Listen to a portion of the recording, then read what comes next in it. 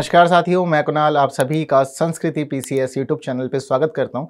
जैसे कि आप सभी लोग को पता है कि यूपी पीसीएस का नोटिफिकेशन आ चुका है और सभी लोग जल्द से जल्द फॉर्म भर दीजिएगा, क्योंकि बात के लिए इंतज़ार मत कीजिएगा, कई बार हम बाद में भूल जाते हैं फॉर्म नहीं भर पाते। और इसी के साथ संस्कृति आई ने आप लोगों के लिए यह भी सोचा है कि जल्द से जल्द आप की तैयारी को और अधिक सशक्त कराया जाएगा और अधिक सुदृढ़ किया जाएगा।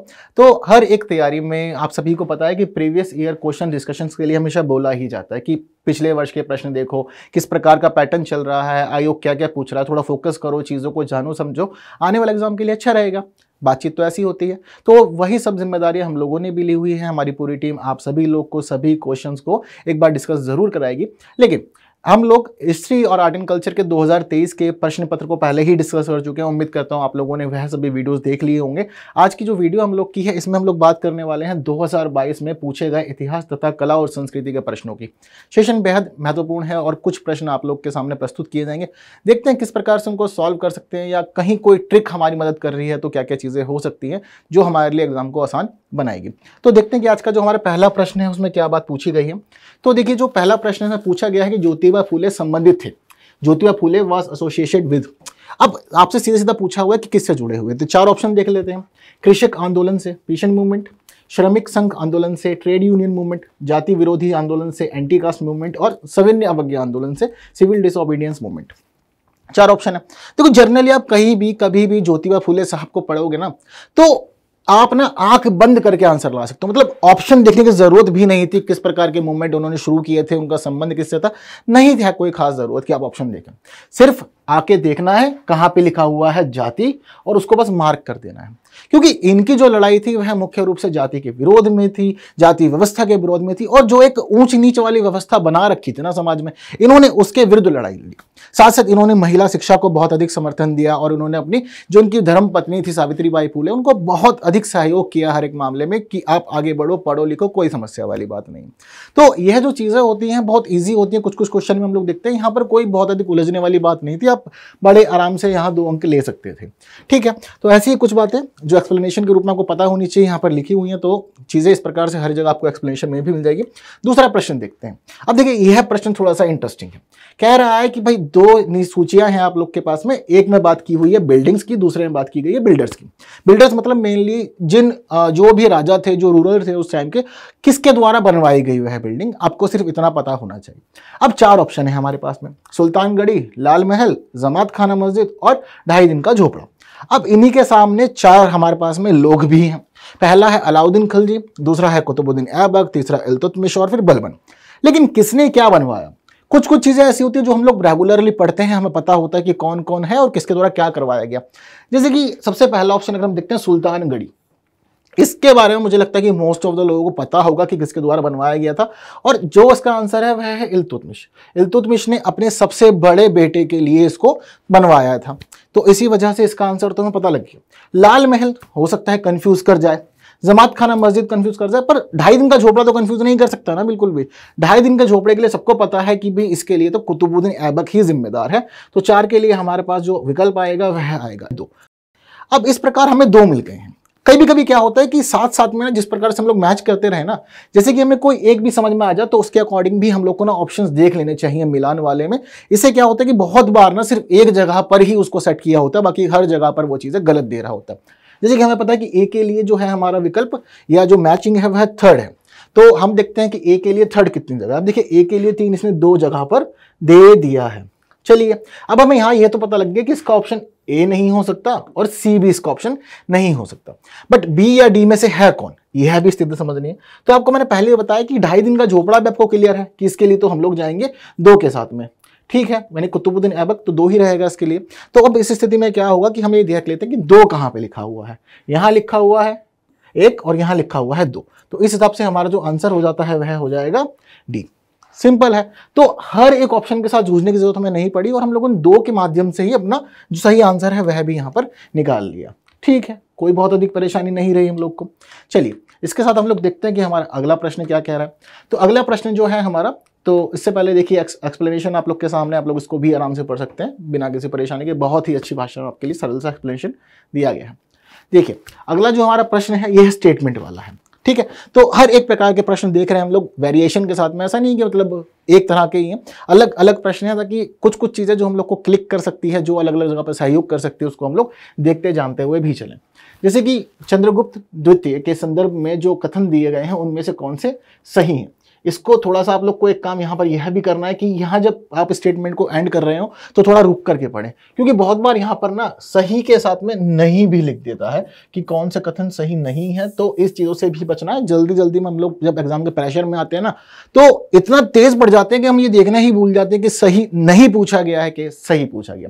अब पूछी गई बात हमारे से चंद्रगुप्त द्वितीय के बारे में।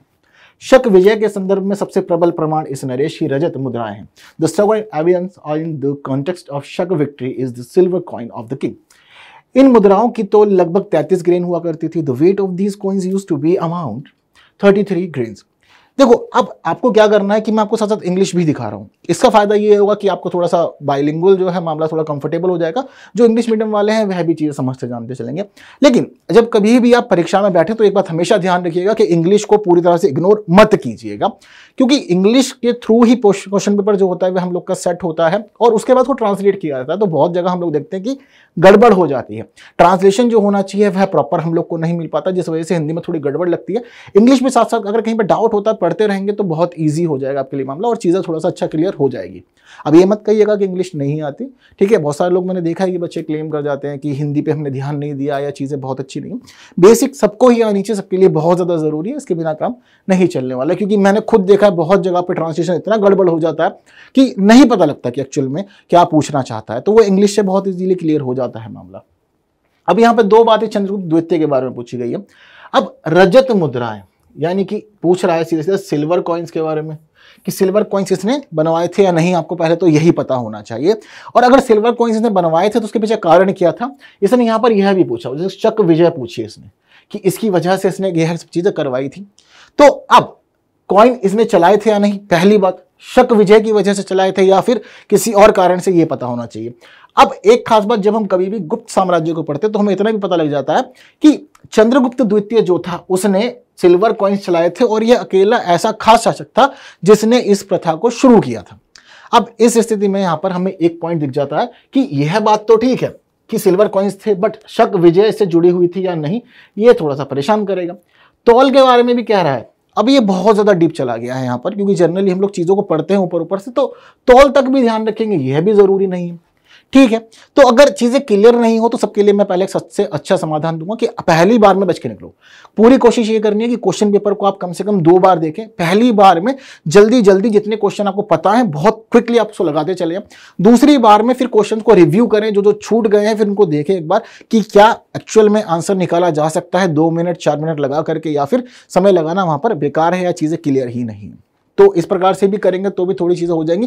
क्योंकि कई बार क्वेश्चन से उलझने की वजह से हम देखते हैं कि आप क्वेश्चन पेपर के लास्ट तक ही नहीं पहुँच पाते, अंत के प्रश्न आपको पता ही नहीं होते। और जब बाद में देखते हैं तो पता लगता है कि लास्ट में क्वेश्चन इतने ईजी दिए हुए थे कि आप कर सकते थे, लेकिन किसी एक क्वेश्चन पे या दस क्वेश्चन पे ज़्यादा समय लगाने की वजह से आप लास्ट के क्वेश्चन देख नहीं पाए हैं। तो दूसरा आपसे वज़न 33 ग्रेन हुआ करता था तो आपको मैं यहाँ पर क्लियर कर देता हूँ कि इसका जो पहला स्टेटमेंट है, बिल्कुल ठीक है, रजत मुद्रा ऐसे मैंने बताया चलाई थी, शक विजय के संदर्भ में चलाई थी। ठीक, वहीं जो इसकी मुद्राओं का तौल हुआ करता था, लगभग तैतीस ग्रेन पूछा हुआ है इसने तो इसके आसपास कहा जाएगा। और ऐसा ही माना जाता है कि तीस से तैतीस ग्रेन लगभग इसका वज़न उस समय हुआ करता था, तौल इसका यही रहता था। तो इस हिसाब से हमारा जो आंसर है, वह बी हो जाएगा, क्योंकि दोनों ही स्टेटमेंट्स हमारी सही हो गई है। एग्ज़ाम में इतना समय नहीं मिलता, इसलिए हम लोग चीज़ें यहाँ पर इतमान से थोड़ा डिस्कस कर लेते हैं आप लोग के लिए। थोड़ा सा एक्सप्लेनेशन इसी से जुड़ा हुआ। अगला देखते हैं हमारे यहाँ पे क्या बात पूछी हुई है। कह रहा है कि भाई अलग अलग घटनाएँ हैं इवेंट्स हैं तो इवेंट्स को अरेंज कीजिए।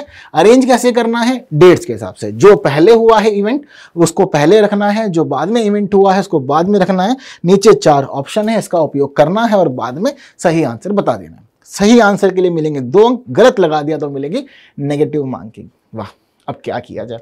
अब चीज़ें याद है या नहीं, सबसे पहले तो यह सोचो। क्या क्या पूछा हुआ? गदर पार्टी की स्थापना। The foundation of Ghadar party. Chittagong शतगार छापा। चिटगांव, आर्मरी रेड, बर्लिन में इंडियन इंडिपेंडेंस कमेटी की स्थापना setup of the Indian independence committee at Berlin केंद्रीय असेंबली बम कांड सेंट्रल असेंबली बम केस चलिए जी। क्या किया जाए? इसके साथ में बड़ा दिक्कत हो गई है मामला। अब जिसको पता है ना, उसके लिए बहुत अच्छा है, वो बहुत इजीली देखेगा। जिसको नहीं पता, वो उलझेगा।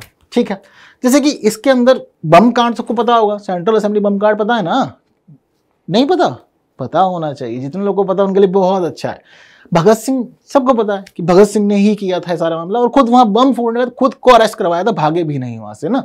कब का इंसिडेंट था बम कांड वाला 1929 यह तो क्लियर हो गया। चलिए। अब गदर पार्टी की स्थापना, शस्त्रागार छापा और बर्लिन में इंडियन इंडिपेंडेंस कमेटी की स्थापना। क्या कर सकते? गदर पार्टी की स्थापना तो पता होगी। बट इस प्रश्न का आंसर आप तभी निकाल सकते हैं आपको चारों के चारों पता हो। यदि चारों नहीं पता तो पूरी संभावना है कि आंसर गड़बड़ाएगा ही, क्योंकि आप नहीं पहुँच पाएँगे इस पैटर्न पे कि पहले कौन था। अगर किसी एक को भी नहीं जानते होंगे तो। गदर पार्टी की स्थापना 1913 इंडियन इंडिपेंडेंस कमेटी की स्थापना जो बर्लिन में हुई थी, यह हुई थी 1915 में। चिटगांव शस्त्रागार छापा लगा था 1930 में। अब इस हिसाब से आप देख लीजिए कि क्या सीक्वेंस बैठना चाहिए हमारा। क्या बैठेगा? एक, तीन चार और दो। कहाँ पर है? एक, तीन, चार, दो। देखिए, यहाँ पर हैगा। एक, तीन, चार, दो। इसलिए हमारा आंसर बी। सिंपल। पर इवेंट्स को भी याद रखिए। जब आप लोग हिस्ट्री पढ़ रहे हैं तो इवेंट्स को याद रखना है मिस नहीं करना है। इसलिए इसके शॉर्ट नोट्स बना लीजिएगा कि कहाँ कहाँ पे कौन कौन सी पार्टी की स्थापना हुई और खास तौर पे उत्तर प्रदेश में जो इंसिडेंट हुए थे बहुत अच्छे से पूछे जाते हैं कि उत्तर प्रदेश के अंदर जो किसान सभा थी, उसकी स्थापना कब हुई थी, किसने की थी, इस प्रकार के इवेंट हुए जो भी। या फिर सविन्य अवज्ञा आंदोलन, असहयोग आंदोलन उत्तर प्रदेश में या अठारह की क्रांति उत्तर प्रदेश में, ऐसी चीज़ें पूछते हैं। यदि नहीं पता तो डरना भी नहीं है। आप संस्कृति पीसीएस के सिर्फ़ प्लेलिस्ट में जाइए हिस्ट्री की और आर्ट एंड कल्चर की ना बहुत अच्छी प्लेलिस्ट बनाई हुई है। मैंने ही पढ़ाया था, हर एक चीज़ बहुत अच्छे से क्लियर किया। वहाँ जाकर चीज़ों को जानिए, समझिए। बहुत अच्छे लेक्चर्स हैं आप सभी लोग के एग्ज़ाम्स के लिए। ठीक है? तो बी आंसर हम लोग के सामने। इसका जो एक्सप्लेनेशन यह भी आप लोग के पास। चलिए, अब देखते हैं अगली बात। निम्नलिखित में से किसने चिंतामणि भट्ट द्वारा रचित संस्कृत ग्रंथ शुक सप्तमी का फारसी में अनुवाद कर उसका नाम तूती नामा रखा था। हु अमंग द फॉलोइंग है translated Chintamani Bhatt Sanskrit text Shuka Saptami in Persian and gave it the title Tuti Nama अब यह एक ऐसा प्रश्न है जो प्रॉपर पहली बात तो फैक्ट बेस्ड है, कुछ लिंक नहीं कर सकते। दूसरी खास बात यह भी है कि भाई, जब फैक्ट पता हो तो अटेम्प्ट करना अदरवाइज़ छेड़छाड़ मत करना मार्क्स कट जाएँगे। ठीक है? बहुत सारे लोग क्या करते हैं, जैसे कि कुछ ऑप्शन ऐसे होते हैं बहुत अच्छे लगते हैं। जैसे कि अमीर खुसरो हमें अच्छा लगता है है ना? नाम ज़्यादा भी सुना होता है, खास व्यक्ति लगता है कि ना, इसी ने सारे काम किए होंगे। जब कभी कभी हम कंफ्यूज होते हैं, चीज़ों पर क्लैरिटी नहीं होती ना तो हमें लगता है कि जो नाम हमें पता है ना, यही एक ऐसा इंसान है जो सब कुछ कर सकता है ज़िंदगी में। यही सबसे खास है। लेकिन यहाँ पर अब्दुल रजाक भी है, शहाबुद्दीन अल उमिर भी है, और ख्वाजा जियाउद्दीन नकशबी भी है। पर इसका सही आंसर जो है, मैं सीधे सीधे बता देता हूँ कि डी है। जो ख्वाजा जियाउद्दीन नक्शबी साहब थे, इनके द्वारा ही ट्रांसलेशन हुआ था पर्शियन में। नाम तूतीनामा दिया था शुक्त सप्तमी को। कुछ नहीं कर सकते। जब फैक्ट आ जाए सामने तो फिर उसके बाद पता है तो इतना तेज़ी से आंसर लगेगा ना कि आप खुद को रोक नहीं पाएँगे। और जब नहीं पता तो फिर उलझेंगे, गलत करने की संभावना अधिक है। मैं हर बार आपको जब जब क्वेश्चन डिस्कशन करता हूँ तो बताता हूँ कि चार क्वेश्चन में कंफ्यूज होने का मतलब है कि आप, जब कंफ्यूज है, कुछ भी नहीं पता तो आपके ऑप्शन की सही होने की संभावना पच्चीस अगर तीन पे क्लैरिटी है तो आपके सही होने की संभावना तैंतीस प्रतिशत। तीन में कंफ्यूज होंगे तो। और अगर आप दो के बीच में कंफ्यूज है तो वहाँ पर जाकर के संभावना जो है, वह पचास प्रतिशत है। पचास प्रतिशत संभावना की स्थिति में आप लोग क्वेश्चन अटेम्प्ट कर सकते हैं, लेकिन अगर आप तीन में कंफ्यूज हैं या फिर अगर आप चारों में ही कंफ्यूज हैं तो कोई बहुत अधिक लाभ नहीं लगता कि मिलेगा। बहुत कम संभावना है कि आप कोई लाभ यहाँ पर उठा सकते हैं। ठीक है? चलिए इसके साथ ही अगला प्रश्न देखते हैं। देखते हैं छठा प्रश्न हमारा क्या कह रहा है। तो छठे प्रश्न में से पूछा गया है, निम्नलिखित में से अशोक का कौन सा शिलालेख धार्मिक संश्लेषण समन्वय के बारे में कहता है। Which of the following rock edict of Ashok speaks of the religious synthesis बेहद सिंपल सा प्रश्न है और फैक्ट बेस्ड है भाई। तैयारी कर रहे हो तो पढ़े थे अशोक के रॉक एडिक्ट? क्या कहते हो? नहीं पढ़े? पढ़ लिए। देखो, पढ़ना ज़रूरी है। चीज़ें कहीं से भी पूछेगा आयोग। वो आयोग की मर्ज़ी है, पर आपकी भी ज़िम्मेदारी है कि आप अपनी तैयारी को पूरी तरह से मज़बूत रखें, चीज़ों को ना छोड़ें। और अभी समय भी है। लगभग चार पाँच महीने हैं अपने पास में तो भी आराम से चीज़ें हो जाएँगी। ऐसे कोई पूछने वाली, परेशान होने वाली बात नहीं है। जब पर्याप्त समय है तो चीज़ें सॉल्व हो सकती हैं। चलो, समझते हैं, जैसे चार ऑप्शन इन्होंने देखा इन चार ऑप्शन के बारे में समझ लेते हैं। जैसे कि जो दूसरा शिलालेख है यह हमें बताता है औषधियों के बारे में कि पशु, पक्षी वगैरह चिकित्सा कैसे होगा, मनुष्यों का चिकित्सा कैसे होगा, औषधि वगैरह जुड़ी हुई बातें इसके अंदर आती है। धार्मिक समन्वय स्थापित करने की जो बात है, वह मिलती है बारहवा शिलालेख के अंदर। इसमें इन्होंने प्रॉपर मेंशन किया हुआ कि धार्मिक समन्वय सभी के बीच में होना चाहिए और बाकी बातें यहाँ पे लिख रखी हैं। तो आप सभी को पता है कि रॉक एडिक्ट्स थे जनरली ये सभी इसलिए बनवाए जाते थे ताकि सम्राट जो है वह अपना संदेश जनता तक पहुँचा सके। अब उस समय व्हाट्सएप वगैरह नहीं था ना यूट्यूब भी नहीं था कि वह इस प्रकार से कुछ चीज़ों को डिस्कस कर लेता तो कुछ नहीं था। तो उस समय जो सबसे अच्छी चीज़ इन्होंने सोची वह यह था कि चीज़ों को लिखवा देते हैं। लिखने के बाद क्या हुआ कि कोई जब वहाँ से गुजरेगा, चीज़ों को जानेगा, समझेगा, या हमारे साम्राज्य की भूमि में प्रवेश करेगा तो उसको पता लग जाएगा किसका साम्राज्य है और जिसका साम्राज्य है वह राजा कैसा विचार रखता है, वह क्या सोचता है, किन स्थितियों के बारे में तो ये सभी चीज़ें वह जान जाएँगे। तो इस प्रकार से अलग अलग शिलालेख और बाकी लेख हम लोग देखते हैं कि हैं तेरहवा शिलालेख जो है, यह कलिंग विजय के बारे में है और जबकि ग्यारहवा शिलालेख जो है, यह अशोक के धम्म की बात करता है। तो इस प्रकार थोड़ा बेसिक बेसिक चीज़ें पता होनी चाहिए कि मेनली कौन कौन सा रॉक एडिक्ट किससे जुड़ा हुआ। ज़रूरी नहीं है इस बार भी रॉक एडिक्ट पूछे। वैसे 2022 में पूछा गया था, संभावना भी है, पूछ ले। कुछ कह नहीं सकते क्योंकि जो आयोग है, वह अनप्रिडिक्टेबल है, ये चीज़ हम लोग को पहले से ही पता है। बट पढ़ते पर चलिए, चीज़ें ठीक है, कोई ऐसी दिक्कत बात नहीं है। तो इसका ही कुछ एक्सप्लेनेशन आप लोग के सामने। पढ़िए, समझिए, जानते हुए हम लोग बढ़ते हैं आगे। और अब देखते हैं हम लोग सातवां प्रश्न। कितना अच्छा सा प्यारा सा प्रश्न पूछा है अलाउद्दीन खिलजी के बारे में। और अलाउद्दीन खिलजी के लिए उन्होंने पूछा कि निम्नलिखित जो उसकी विजय थी, बस कुछ नहीं करना, विजय को काल के अनुसार व्यवस्थित कर दीजिए, ठीक है? Arrange the following conquest of Alauddin Khilji in order simple sorted बात, उससे अधिक कुछ नहीं। ऑप्शन में हमारे पास में है रणथंबोर गुजरात, वारंगल और चित्तौड़। अब क्या किया जाए? Select the correct answer from the codes given below किसके साथ जाना चाहेंगे? हमारे पास में चार ऑप्शन है ए बी सी डी सबसे पहले ज़रूरी है कि हमें चारों के बारे में पता हो, फिर एक बार एक ऐसा प्रश्न हम लोग के सामने। अब एक प्रश्न आपको मैंने ऐसा दिखाया कि एक दो बातें हुई और उससे चीज़ें क्लियर हो गई और आंसर भी निकल गया। अब एक दो जगह पे हम लोगों ने देखा कि चार ऑप्शन के बारे में अगर नहीं पता तो कोई फ़ायदा नहीं है। प्रश्न को छेड़ने का बेवजह आप उलझेंगे। ठीक है, अब देखें चलते हैं और सीधे समझते हैं कब कब कौन कौन से युद्ध हुए। जैसे कि सबसे पहला जो है, वह है अलाउद्दीन खिलजी का गुजरात विजय। ऑप्शन के अनुसार, गुजरात विजय जो है, यह की थी अलाउद्दीन खिलजी ने बारह में। अब एक के बारे में हमें पता चल गया। लेकिन अभी एक, तीन, चार तो रह रहा है। अब किसके साथ जाना चाहेंगे? तो देखिए, दूसरा जो हमारे पास में ऑप्शन आता है, वह आता है रणथम्बोर रणथम्बोर की जो विजय थी, यह हुई थी तेरह में। इसके बाद में जो है, वह आता है चित्तौर, तेरह में। और फिर चित्तौर के बाद में, अगर हम देखते हैं तो बीच में अनेक वॉर रही, लेकिन वारंगल जो है, इसकी अंतिम कुछ विजयों में से एक था 1310 इसके लिए, जो डेट है, यह मानी जाती है। ठीक है? अब तो समस्या नहीं है, अब तो आंसर आ जाएगा। क्या होना चाहिए इसका आंसर दो एक चार तीन। कहाँ है? ऑप्शन में देख लीजिए। तो दो एक चार तीन यानी कि सी सही आंसर है। कोई समस्या? कोई परेशानी वाली बात? उम्मीद करता हूँ कि कोई परेशानी यहाँ पर नहीं रहोगी। इतना क्लियर है? सिंपल मामला। चलें फिर आगे। चलिए। सी बैटल्स देख लीजिए, इसके जो कुछ महत्वपूर्ण बैटल्स हैं। अलाउद्दीन खिलजी की जो महत्वपूर्ण कुछ बैटल्स हैं आप लोग के सामने हैं यहाँ पर, जहाँ पर इसने जीत दर्ज की थी। अगला देखते हैं, आठवां प्रश्न क्या कह रहा है। अलग अलग युद्ध। अब आपको यह बताना है कि कौन पहले हुआ, कौन बाद में हुआ। Consider the following events arrange them in chronological order Mudki का युद्ध बैटल ऑफ़ मुदकी पोर्टोनोवा का युद्ध बैटल ऑफ़ पोर्टोनोवा। शकरखेड़ा का युद्ध बैटल ऑफ़ शकरखेड़ा एंड बेदरा का युद्ध बैटल ऑफ़ बेदरा। चार है।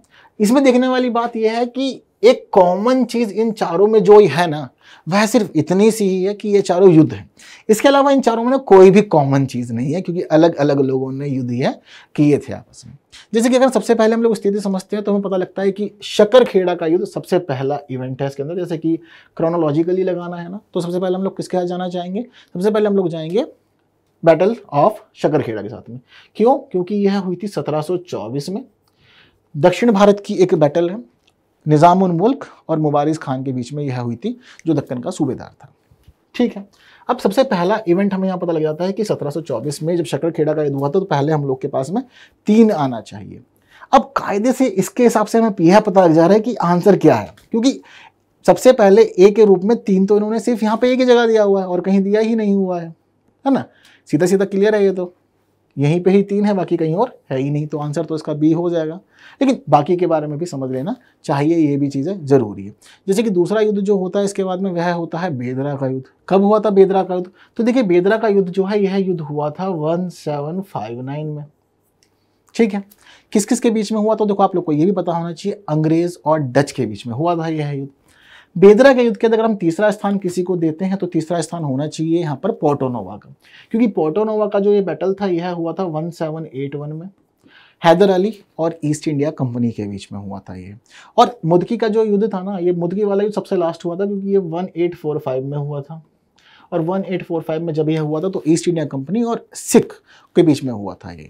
तो यह है स्थिति थी सारी की सारी। तो अब इस हिसाब से देखो हम लोग का क्या है व्यवस्था बी आंसर तो निकल ही रहा है। और सिक्वेंस के हिसाब से हमें पता लग रहा है कि सबसे पहले थ्री फिर उसके बाद में फोर फोर के बाद में फिर टू और टू फिर वन तो बी सीधे सीधा आंसर है तो बैटल्स भी पढ़िए अच्छे से पढ़िए जितने अधिक बैटल्स आप लोग याद कर सकते हैं सिक्वेंसिंग कर सकते हैं, चीज़ों को कर लीजिए, क्योंकि एग्ज़ाम में किसी भी रूप में ये सभी चीज़ें आ सकती हैं। चलिए मामला इतना सारा क्लियर है आप लोग को। सिक्वेंसिंग भी यही है शकरखेड़ा, बैदरा, पोर्टोनोवा और मुदकी बी सही आंसर ठीक है, चलिए। आगे बढ़ते हैं देखते हैं हमारा नवा प्रश्न क्या कह रहा है। बेहद सिंपल सा प्रश्न है ये। कह रहा है, सिंधु घाटी की सभ्यता के किस पुरास्थल से नाव के चित्र या मॉडल प्राप्त हुए हैं? इंग्लिश में देखें तो from which archaeological site of Indus valley civilisation the figure और models of boat are found simple है। लेकिन सिंपल इस मामले में है कि यह एक फैक्ट है। और फैक्ट का मतलब यह है कि अगर आंसर पता है तो पता है, अगर नहीं पता तो फिर नहीं पता। उलझ नहीं सकते हैं अब क्या कर सकते हैं? अब धोलावीरा भक्तराव हड़प्पा, कोटदीज मोहनजोदड़ो एवं लोथल, कालीबंगा और रोपड़। किसके आ जाना चाहेंगे?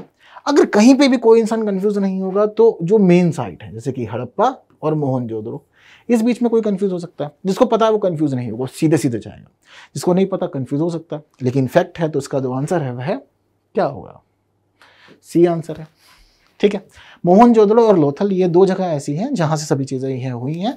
बोर्ड के मॉडल भी मिले हैं, चित्र भी मिले हैं तो सी आंसर इसलिए हमारा रहेगा। ठीक है?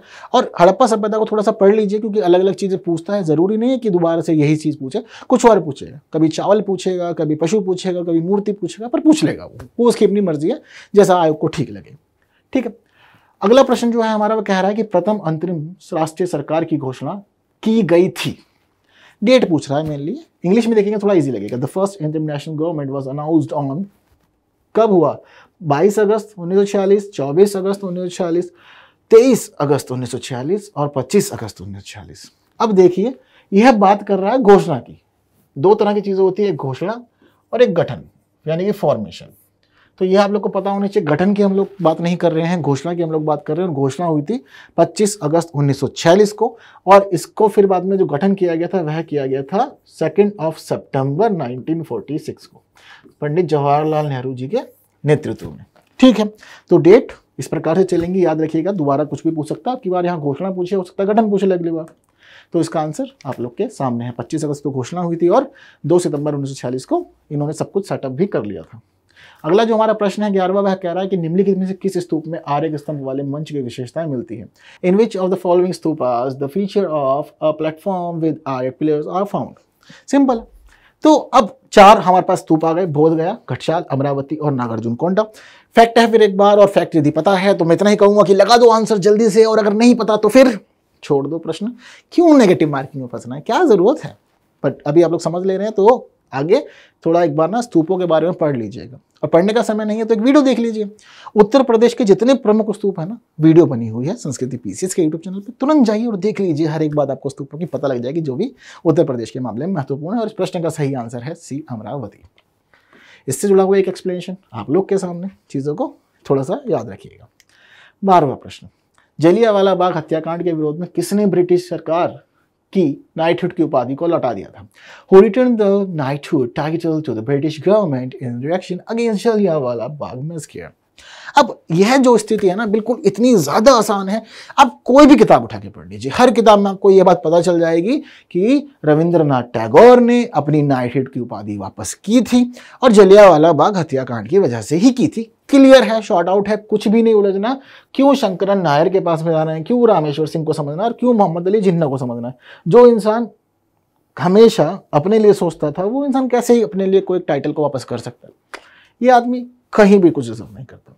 ठीक है तो सही आंसर रविंद्रनाथ टैगोर भी कोई बेवजह उलझने का बात नहीं है इसके अंदर। ठीक है, इसके साथ साथ हमारा जो आज का एक और प्रश्न है, वह है सत्य शोधन समाज के संस्थापक कौन थे जिनका प्राथमिक ज़ोर सत्य की खोज पर था? Who was the founder of Satya Shodhak Samaj having its primary emphasis on the seeking of truth देखो, इतना आसान प्रश्न है ना कि सत्य शोधन समाज जो होता है, वह आप लोग बार बार पढ़ते हैं कि सत्य शोधक समाज कब स्थापित हुआ, किसने स्थापित किया, उद्देश्य क्या था वगैरह वगैरह कार्यक्रम चीज़ें हम लोग उसमें पढ़ते हैं। राजा राम मोहन राय, एम जी रानाडे यानी महादेव गोविंद रानाडे ज्योतिबा फूले और ताराबाई शिंदे। कौन है? फैक्ट है तो क्या करोगे जोड़ करके? जोड़ सकते हो कुछ, सिकंदर? नहीं जोड़ सकते ना तो आंसर पे चले फिर से सीधा। चलिए तो आंसर ज्योतिबा फिले नहीं उलझना। सी आंसर है, इनके द्वारा ही यह महत्वपूर्ण कार्य किया गया था। सत्य शोधक समाज की स्थापना का मुख्य उद्देश्य सत्य की खोज करना ही था। ठीक, इससे जुड़ा एक एक्सप्लेनेशन आप लोग के सामने। चलते हैं आगे, और आज की वीडियो में सिर्फ़ इतना ही महत्वपूर्ण बात। तो यह पार्ट वन है 2022 के इतिहास के कुछ प्रश्नों का। एक और वीडियो ऐसी आप लोग के लिए हम लोग फिर तैयार करते हैं। तो थोड़ा सा छोटी वीडियो में कुछ प्रश्न डिस्कस हो जाते हैं तो आप भी अधिक लोड नहीं है, अधिक समय नहीं देना। और चीज़ें भी हम लोग एक स्मूथली डिस्कस कर लेंगे भी समय है प्रॉपर उम्मीद करता हूँ कि सेशन अच्छा लगा होगा क्वेश्चन डिस्कशन पसंद आया है तो वीडियो बाकी साथियों तक ज़रूर शेयर करना है लाइक के बिना नहीं जाना।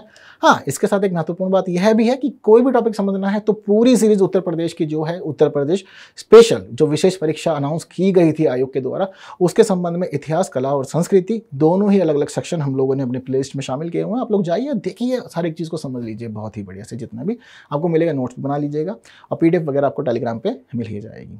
ठीक है, अगली वीडियो में फिर मुलाकात करते हैं, कुछ नई बातों के साथ, तब तक के लिए विदा दीजिए थैंक यू सो मच